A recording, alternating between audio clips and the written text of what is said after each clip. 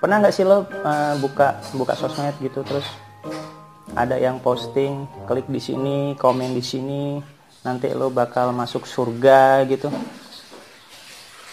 Uh, lo punya orang dalam di surga ngejamin banget kalau komen bisa masuk surga.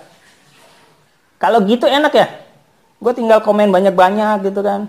Nanti komen ini buat keluarga gue biar keluarga gue masuk surga ini buat keluarga orang lain keluarga orang lain masuk surga gitu kan ya enak jadi jadinya nggak perlu lo ibadah gitu jadi bisa masuk surga dengan cara komen. Ya nggak mungkin juga kali ya